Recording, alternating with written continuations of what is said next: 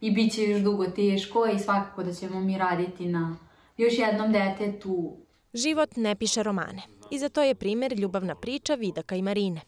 Čuli ste njegovu stranu, a sada je došao red na Marinu. Marina, dobroveče. Dobroveče. Izvini sad ovako što te presrećem na ulici, ali moram da te pitam, da li si ispratila Vidakovu izjavu? Jesam. I da li ima nešto što ti misliš da nije tačno? Pa mislim da je sve što je rekao tačno, samo što je izostavio jako puno detalja. Ko je koga ostavio? Uh, on je mene ostavio. On je tebe ostavio posle gubitka bebe? Tako je.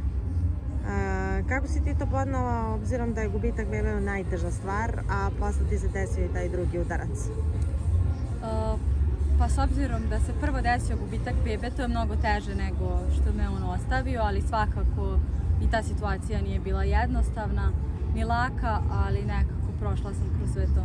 Šta ti je bilo najteže? Pa najteže mi je bilo da ostanem sama u nekom momentu, ali su se stvarno svi oko mene trudili da ne budem sama. Imala sam na momente nervne slomove, teške trenutke, ali opet sve to nekako prođe i sad je sve mnogo bolje. Da li ti se Vidak javlja? Ne. Ne. A on kaže da ste u kontaktu? Čuli smo se pred razvod, videli smo se jedan dan i to je sve od naše komunikacije. Nije te pitao uopšte kako si? Ne. A njegovi roditelji?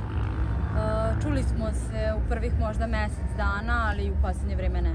Je li Vidak tvoja greška u životu? Nije. Ne. Smatraš to lekcijom? Pa smatram jako lepo provedeno vreme sa njim i svakako je nešto što ne bih volela da izbrišem iz svog života. A koliko je bilo istinito to što smo mi mogli da vidimo na YouTube? Pa 50-50. S svoje strane ili njegove? Pa sa obe, sa obe.